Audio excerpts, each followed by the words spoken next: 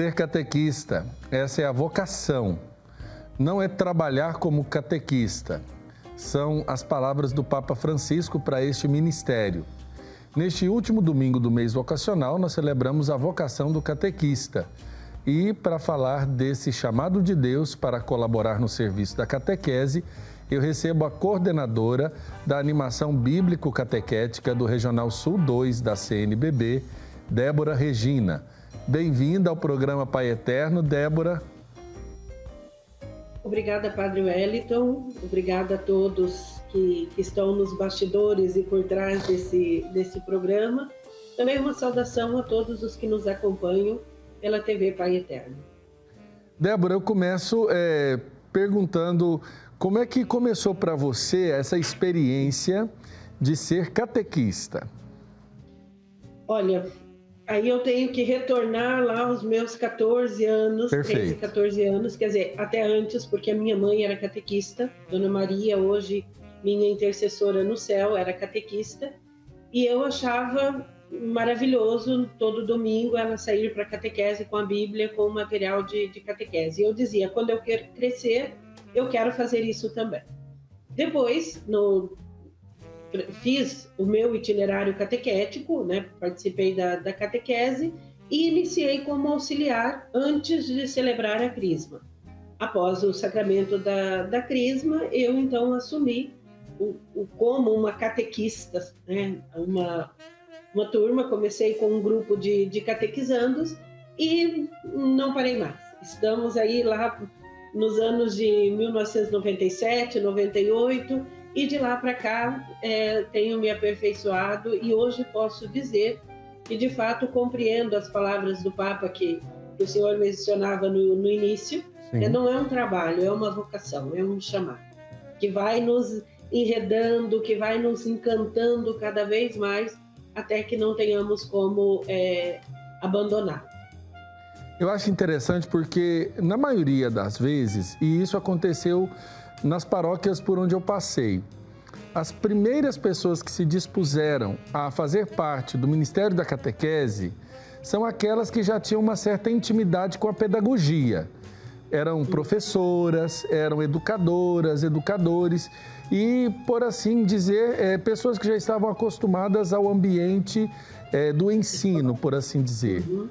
Agora, durante muito tempo, e eu acho que até hoje se esforça muito em dizer que o catequista não é um professor.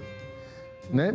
Por que, que a catequese não pode ser é, encarada como uma realidade que seja comparada à escola, por exemplo, que a mãe vai lá, matricula, é, tem que ter uma formatura, etc. Eu acho que me fiz explicar pelas comparações, Sim. né? Sim.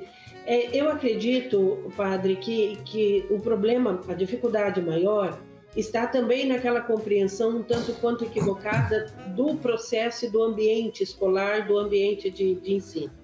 Hoje nós sabemos que também a educação escolar, ela não é composta apenas de uma de uma transmissão de conteúdos aleatórios que, que não tenham nada a ver com uma preocupação de uma formação cidadã, de uma formação íntegra da, da pessoa.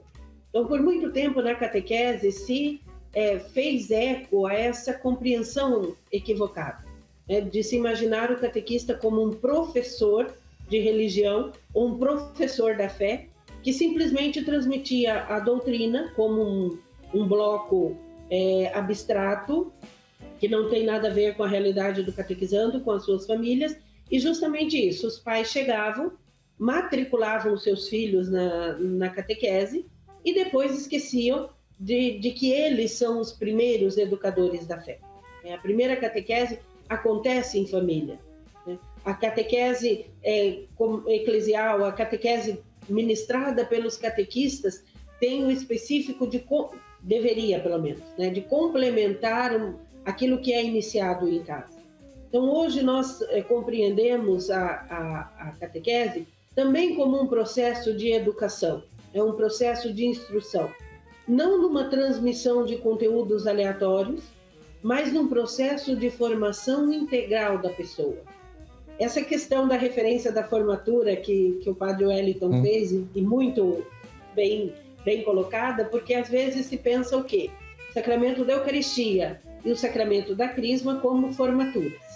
Né? Você caminha ali dois, três anos, recebe a, a, Eucaristia, dois anos recebe a Crisma e está formado. Né? Mas então não é essa compreensão. Os sacramentos vistos como pontos de partida a, par, a partir dos quais você está apto a participar da vida de comunidade. Então, eu diria que hoje é importante falarmos da catequese como um processo de educação da fé, que não consiste na transmissão de conteúdos, mas na formação integral do cristão. Perfeito. Agora, é, como você disse e chamou bem a atenção, aquele que é o facilitador, aquele que é o iniciador, aquele que é o catequista, ele compreende que é chamado a uma vocação. Como você descreve a experiência de ser chamada para essa vocação e qual é a partilha que você tem dos demais que são chamados a esse mesmo ministério? Então, é bastante interessante esse processo, porque eu digo que ele é muito eclético. Né? Como eu disse, em mim despertou o entusiasmo por causa da minha mãe e eu me ofereci eu cheguei para a irmã coordenadora e disse: Eu quero ser catequista. Eu sempre fui, né, assim, muito expansiva e eu iniciei. Mas tem aqueles que às vezes é, já acontece também de pais virem escrever os filhos e na conversa, então, ah, eu posso ser catequista do meu filho, eu como que é, eu gostaria. Existem aqueles casos que às vezes se escuta na, na nas celebrações ou na comunidade que se está iniciando um processo catequético e a pessoa se sente chamada. É como eu pedir que o senhor descrevesse a, o seu chamado vocacional ou o chamado vocacional de seus é, irmãos no, no, sacerdócio. É uma experiência muito, é, muito pessoal, mas acredito que para todos marca aquele momento em que, que você sente uma inquietação você percebe que você é chamado a contribuir com, com algo, ou que você percebe que tem, tem algo, uma experiência tão bela, sabe, tão profunda, que ela precisa ser partilhada. E, e para muitos, o espaço da partilha é na, no espaço da catequese. Então, são homens, mulheres, leigos, leigas, religiosos, sacerdotes, mas a grande maioria são leigos e leigas que se dedicam ao serviço da catequese, justamente como a, a, concretização, a realização da sua vocação batismal, porque esse é o fundamento da, da catequese. Poderíamos dizer que nós, pelo batismo, somos, todos somos catequistas em potencial. E tem aqueles que dão o seu sim, é, respondem a esse chamado e se colocam a serviço. E, e aqui, padre, eu gostaria de, de frisar que nós temos muitas pessoas que são de uma boa vontade imensa para esse trabalho. É um trabalho, na sua grande maioria, voluntário, é dom, é chamado, mas também traz consigo uma grande responsabilidade. Então, por mais que, que eu me sinta plena por servir a Deus na catequese, eu também preciso cuidar desse tesouro e me preparar bem para que eu possa desempenhar a minha missão. Agora eu pergunto, é, no caso, como você recebeu essa, esse reconhecimento que o Papa Francisco fez do, do Ministério da Catequese. Né? Recentemente ele instituiu é, a catequese como um ministério no coração da igreja. É, qual a importância desse documento e o que significa isso para a, a vocação do catequista? Então, eu estou até com ele aqui perto, é este o antigo ministério, né? deixa eu... Isso, isso, isso daqui, né? que é o moto próprio, quer dizer, o Papa da sua, da sua intenção, da sua, da sua vontade como pastor, né? da sua percepção como pastor, desejou por sua própria iniciativa, então, ritualizar, oficializar o ministério do, do catequista.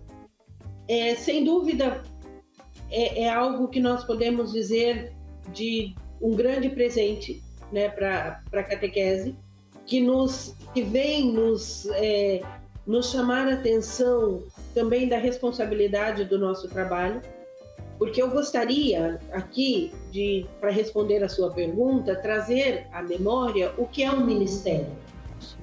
O ministério é um dom, um carisma que nós Isso, recebemos assim, do alto, é poder... que nós recebemos de Deus para ser colocado a serviço da comunidade. O carisma ele é pessoal, porque sou eu, Débora, que recebo, né? Esse justamente essa vocação. A minha identidade é ser catequista e eu vou exercer esta minha identidade, eu vou concretizar esta minha realidade no serviço da catequese. E agora este serviço, ele alcança o status de ministério, um dom à disposição da, da igreja. É, eu vou ser bem sincera é, com o senhor, que assim, eu recebi com bastante preocupação essa, essa notícia. E por quê? Não é que eu estou desmerecendo ou acho que o Papa Francisco não esteja certo, de modo algum. Mas a preocupação é justamente num ponto que o, o moto próprio enfatiza, que é não clericalizarmos esse, esse ministério. E a, existiu um, uma pequena confusão no início que acharam que já tinha que sair instituindo todos os catequistas e entregando carteirinha e vestes que diferenciavam com muita pompa, com muita circunstância, quando na verdade o Papa está nos chamando à reflexão da responsabilidade desse serviço. Então eu acolho com entusiasmo, com fé mas também com a preocupação de que nós possamos conscientizar cada vez mais os nossos catequistas da importância desse serviço. Quem será instituído ao ministério de catequista? Quem ama a igreja, quem caminha em comunhão com a igreja?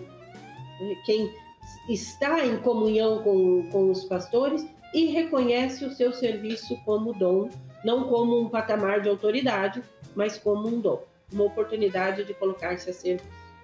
Débora, agora vamos falar de critérios. É, quando uma pessoa, por exemplo, se, se coloca à disposição para exercer um ministério na igreja, é, é, são estabelecidos critérios e aí eu pergunto, o que, que é preciso que a pessoa tenha para ser catequista? Não basta ter só tempo, né? Ah, exato, exato. Então, é, padre, o, o moto próprio, ele, ele trouxe alguns critérios que são é, importantes e eu acredito que, que serve para a compreensão da vocação do, do, catequista também. Está aqui no, no, no né, de justamente essa, esse empenho é, laical, então leigos, né, homens e mulheres e aqui, olha os, os critérios que, que o Papa aponta: homens e mulheres de fé profunda e maturidade humana, uma dimensão de fé. Né? Eu não posso ofertar aquilo que eu não tenho. Então, eu, eu preciso ser uma mulher de fé, em primeiro lugar, e, e dar testemunho da minha, é, da minha fé. Da maturidade humana, por quê? Porque eu vou precisar lidar com conflitos, com situações que exigem um, um equilíbrio, é, é, que tem uma participação ativa na vida da comunidade cristã. Então, o catequista agirá em nome da comunidade e na comunidade, é a, a dimensão eclesial do, da, da catequese, que é, sejam capazes, e aqui a gente vê as notas é, bastante claras de Francisco, né, do, do seu pontificado que sejam capazes de acolhimento, generosidade e de comunhão fraterna. Então, é alguém que seja capaz de acolher, de colocar-se no lugar do outro, é de compreender que o seu, que o seu serviço, que, que a sua ação catequética é para acolhida. E como o senhor disse, não precisa só boa, não é suficiente só boa vontade, então que tenha uma devida formação bíblica teológica, pastoral e pedagógica. Então, que este, poderíamos sintetizar: homens e mulheres de fé, certo. abertos à, à, à acolhida, capazes de acolher, capazes de gerar comunhão e dispostos a formar-se permanentemente, podemos assim dizer, na, na doutrina, na compreensão da, da própria fé que professa. Débora, agora eu fico, eu me questiono sobre a questão de como a igreja vai se, se ocupar de formar é, escolas para preparar catequistas. Porque às vezes a gente pensa assim, e no meu tempo de catequese, eu vi muito disso. A pessoa chegava às vezes sem experiência, com muita boa vontade, mas não tinha aquele preparo todo para poder ser catequista, assumir o ministério, né? Eu pergunto para você, você tem visto já é, essa preocupação de se formar, não digo talvez escolas, mas espaços de formação ou de capacitação para que alguém, antes de tomar à frente um grupo para acompanhar na catequese, possa estar, como nós dizemos no Evangelho hoje, cheio de óleo para queimar uhum. na sua lâmpada da fé durante todo esse tempo que vai acompanhar aquele grupo. Uhum. Então, é, Padre Wellington, a formação do catequista sempre foi uma preocupação e sempre foi apontada como prioridade. Temos aí os diretórios gerais da, da catequese, temos o Diretório Nacional de, de, Catequese, o próprio Vaticano II já, embora não, não tenha um documento específico da, da catequese, mas seus vários documentos enfatizava a formação de catequistas, né, a prioridade da formação de, de catequistas. O Papa Francisco e seus antecessores sempre têm enfatizado essa dimensão da formação. Agora nós teremos que ter um olhar mais é, direcionado, eu diria assim, para a formação ao ministério do catequista. Né? Porque nem todos aqueles que se sentem chamados à, à vocação de catequista aceitarão ser instituídos ministros da, da catequese, porque isso exige um, uma dedicação maior, um tempo de, de, de preparo, de estudo, né, e uma disponibilidade que não é para todos. Agora, a formação do catequista, e também não é apenas quem for instituído ministro que vai poder ser catequista. Né? Então, isso é tudo precisa ser esclarecido e, e cabe à Conferência Nacional dos Bispos, no caso a CNBB, a estabelecer, a elaborar esses critérios de escolha e de formação para o ministério né, de catequista. Mas, diante da sua pergunta, eu enfatizo: sempre foi uma preocupação formar catequistas. Nós temos escolas paroquiais, escolas diocesanas, escolas regionais, que buscam cada vez mais é, essa compreensão da formação integral também do catequista. Não só oferecer critérios de conhecimento bíblico, conhecimento litúrgico, conhecimento doutrinal, mas a pessoa, fundamentar a sua, a sua espiritualidade, a sua, a sua experiência.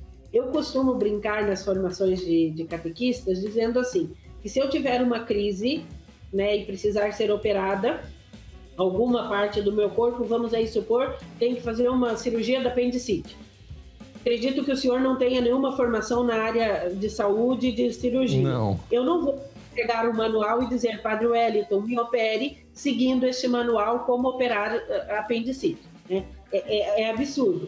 Então, só que às vezes na catequese, infelizmente, acontece isso. Eu quero ser catequista, não sei muito, está aqui o manual, vai lá e vê catequese. Né? Não cuidamos. Infelizmente, não tem esse, esse primor que, que gostaríamos. Então, por isso que a gente reforça, formar-se.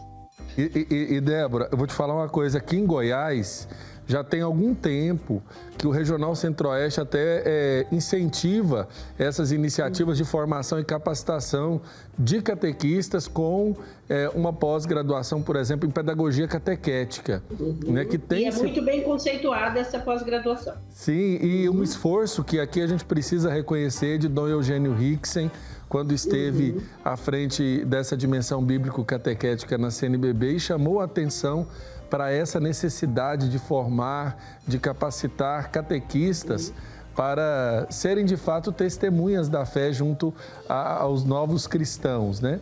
Agora, eu pergunto o seguinte: um adulto que não tem conhecimento da fé e tem interesse em se tornar cristão, é, eu pergunto, existe um tempo específico para ele ser catequizado, existe uma diferença da catequese do adulto para a catequese é, da criança, do, no caso do jovem?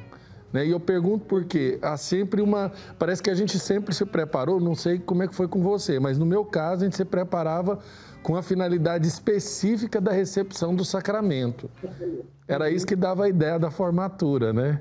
Infelizmente, Exatamente. mas na verdade a gente se preparava em vista da recepção daquele sacramento. Foi assim para a primeira Eucaristia e depois para a confirmação ou crisma, né?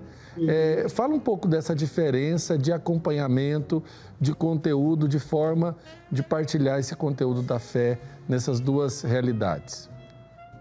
Então, padre, é, o modelo de catequese, de, e nós falamos aqui antes de, de interlocutores. Então, nós temos interlocutores que são crianças, adolescentes, jovens e adultos.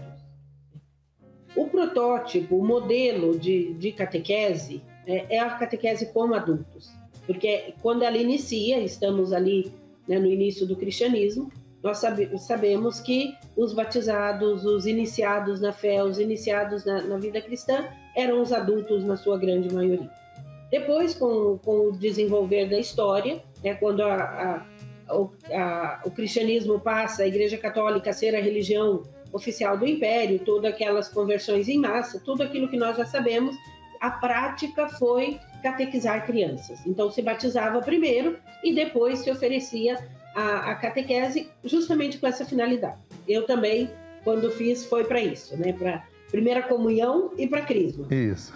Pronto. Eu ainda tive entre a Eucaristia e a Crisma cruzada eucarística. Não sei se o senhor chegou a fazer. Eu fiz parte da cruzada eucarística na Diocese então, de Anápolis. É, uma faixa amarela, amarela. com uma cruz vermelha e éramos, né, toda a missa era estilo as fitas do apostolado da oração para nós. Então, eu tive, a, não era um sacramento, mas era um, né, um, um rito é, celebrado ali.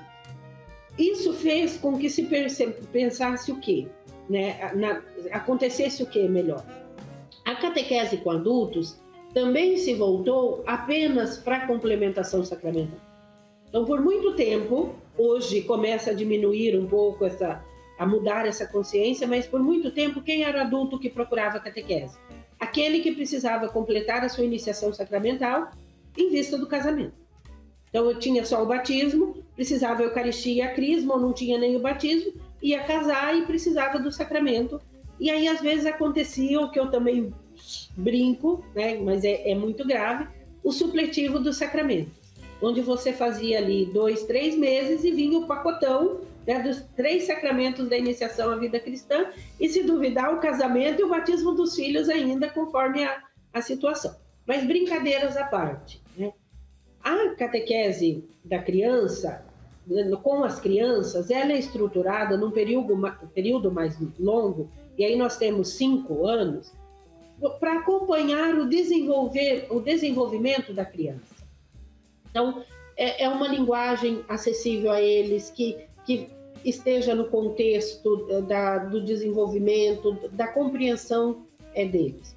Com um adulto, quando se pensa catequese, se pensa em um itinerário, e aí eu tenho visto experiências de um ano e meio, dois anos, até mesmo três anos, né, no, no qual começa a se formar uma consciência de que, no caso do adulto, a catequese não é só para o sacramento, mas é acima de tudo para essa formação de fé, esse revigorar a, a, fé que talvez esteja ali adormecida, quietinha ou nem saiba que, que exista.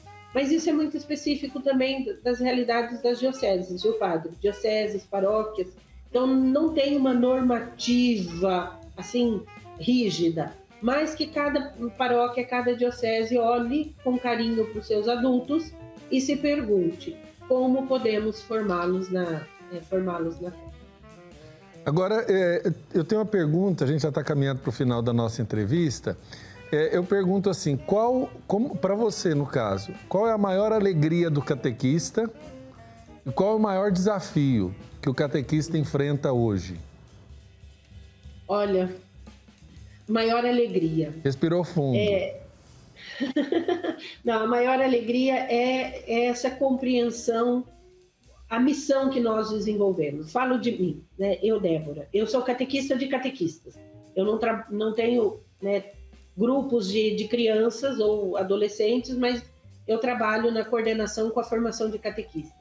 Então, a alegria de saber ser chamado, né, de reconhecer ser chamado, e capaz de, de anunciar a fé, né, de formar. Então, e a alegria do catequista de base que partilham comigo é de perceber a, abertura, embora que seja pequena, mas a transformação que os seus catequizandos vão passando. Sabe aqueles momentos que que se iluminam, que faz aquela experiência dos discípulos de Emaús, nossa, mas que bonito isso, que experiência, que eu estou ou ser reconhecido por seus catequizandos. Então, os pequenos frutos que vão sendo colhidos ao longo do, do caminho.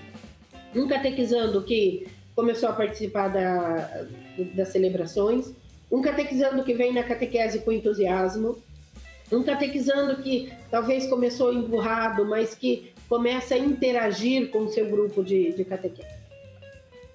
Agora, o desafio, eu diria que é a distância da catequese da comunidade com a família. Nós temos dificuldade de encurtar essa distância.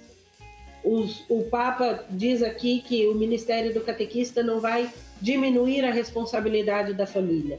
O Diretório para a Catequese reforça a, a prioridade da família como catequista, dos responsáveis pelas crianças. Só que nós, infelizmente, vemos que isso ainda não acontece. E às vezes não acontece por quê? Porque a família não vive num contexto de fé, num contexto de, de transmissão da fé. Então eu diria, a principal alegria, o, o sentir-se chamado, o, o, o ser capaz de anunciar. Desafio aproximar, harmonizar a catequese comunitária com a catequese familiar. Perfeito. É, a gente está caminhando, como eu disse, para o final da entrevista. Para finalizar, eu peço, eu peço que você deixe uma mensagem para aquelas pessoas que queiram ingressar na catequese, na pastoral catequética de sua paróquia. Agora eu estou com a dúvida. A gente continua falando pastoral catequética ou ministério da catequese? Pastoral catequética. Pastoral, pastoral catequética. Isso, então, para as pessoas que desejam ingressar na pastoral catequética de sua paróquia, é, qual a palavra que você deixa? Porque assim como o sacerdote, a, a religiosa, o religioso é, é necessário na igreja e a gente promove essa vocação, eu queria que você deixasse essa mensagem para que a gente também promovesse a vocação do catequista que nós vamos celebrar no próximo domingo. No próximo domingo. Então, se você que está acompanhando, que está nos ouvindo ou que irá no, nos ouvir, você de repente sentiu uma dúvida, sabe aquela inspiração, não assim se eu fosse catequista. Procure a coordenação de catequista da sua paróquia, procure o seu pároco, procure as lideranças e, e se coloque a serviço. Porque não vão adivinhar, né? Às vezes o, o espírito sopra e as pessoas são convidadas, mas às vezes não custa nada a gente, a gente colaborar com o espírito. Como eu disse, eu fui e me ofereci. Imaginem lá uma adolescente de 14 anos, ela não era pequena, já era alta para a idade, mas mesmo assim uma adolescente. Cheguei para a coordenadora da paróquia e disse: Eu quero ser catequista. A coordenadora ficou meio assim, o padre estava passando, eu falei, ó, oh, padre, eu quero ser catequista e, e, como é que eu faço? E eles me envolveram nesse, nesse espaço e eu estou até hoje. Aqui estou. Então, se você sente despontar, despertar esse chamado, procure a sua comunidade, procure a sua paróquia.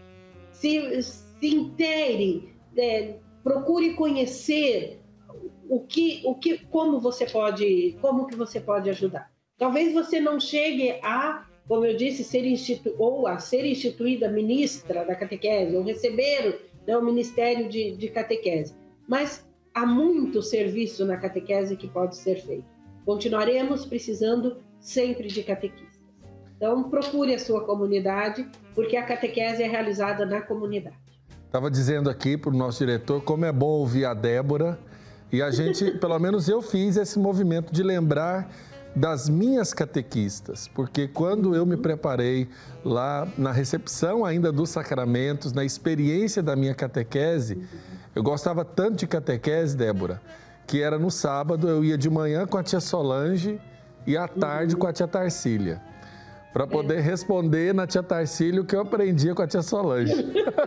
e se sentiam inteligentes. Exatamente. Débora, forte abraço, parabéns a você e a todos os catequistas do Brasil por essa bonita vocação, esse chamado. E desde já, conte com a TV Pai Eterno para estarmos dando esse espaço a todos os catequistas do nosso querido Brasil. Amém. Obrigada, um abraço a todos e obrigada pelo espaço e pelo convite. Quem Amém. sabe uma próxima vez nos encontramos. Com certeza.